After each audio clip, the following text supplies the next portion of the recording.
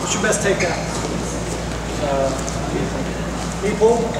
Somebody taught you that knee one day, right? Somebody showed you how to do it. Right when they showed you how to do it, did you hit it on everybody in the country? You're pretty good. That's pretty special. Not many guys can do that. You messed up my story, dude. You're supposed to stay no. There, better. No. It takes time. Practice. Who's got the best leg attack in the world right now? Everybody says Jordan. I'm gonna we'll use Jordan. That's fine. Kyle Snyder. I think actually Haji Aliyev. I'm gonna say Haji Aliyev has the best leg attack in the world. He's from Azerbaijan. He's won two world titles at 61 kilos. Incredible high crouch. Incredible. Somebody showed him that one day, right? But through the course of his life, hitting it over and over and over and over and over again, it adapts to where it beats the best guys in the world. Somebody showed Jordan Burroughs his double leg one day, right? He didn't go out and start double legging everybody right after he learns it. It's rep after rep after rep in your body learning how to do it. If you hit stuff exactly like me, it will not work. You know why so many people have trouble doing John Smith's low single stuff? Because there's one John Smith.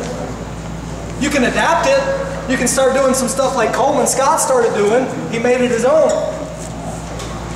You could do some stuff like that, but you have to make the technique your own. Come hit your, come hit the misdirection. Your misdirection low single off the pull. Good hand on, good job. He's dropping pull right to the low single. He's got a really good misdirection low single. It's perfect, it fits. Who's got an ankle pick out of there?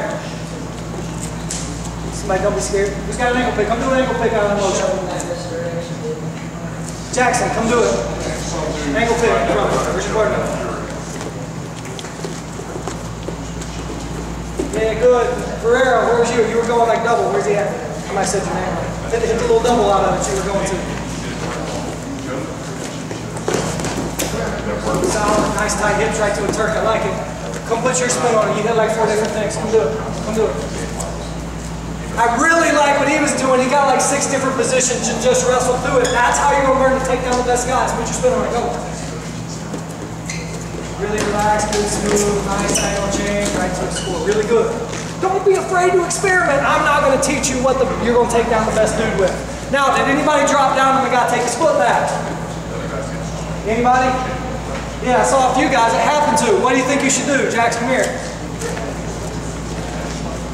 So I'm, I'm too slow. I don't get a good angle. I drop. He takes his foot back. Which one's open? You can knee pull. You knee pull this side. Your. I would like picks a lot. I'm going to knee change and drop him to his butt. A little bit like Coleman's overtie stuff. You can release and go low single. Now I want you to attack the other side. So partner, be disciplined. When he tries to get this angle, take it back. Go attack the other side. Right to the stuff you want to hit. Any questions? Go get that other leg.